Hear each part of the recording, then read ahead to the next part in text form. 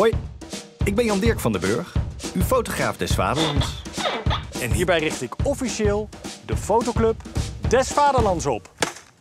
In mijn webserie en in mijn online clubhuis op Instagram neem ik samen met mijn 17 miljoen medefotografen vijf weken lang onze fotogewoontes onder de loep. Want we klikken ons helemaal de blubber. Maar waar zijn we nu eigenlijk helemaal mee bezig? Ja, hebben ze. Dat onderzoeken we in de Fotoclub des Vaderlands. Er is niet een oudere vrouw met een hoofddoek in de public eye. Hoe is jouw eh, persoonlijke ervaring als fotomodel? Verschrikkelijk. Dat is het gevaar van originaliteit. Je kunt heel makkelijk uit de bocht vliegen. Alles wat ik niet mooi vind, is hier te zien. Ja, je hebt ook de lelijke beelden nodig om de mooie beelden weer te versterken. De fotografische safe space voor iedereen die de ontspanknop lekker weet te raken.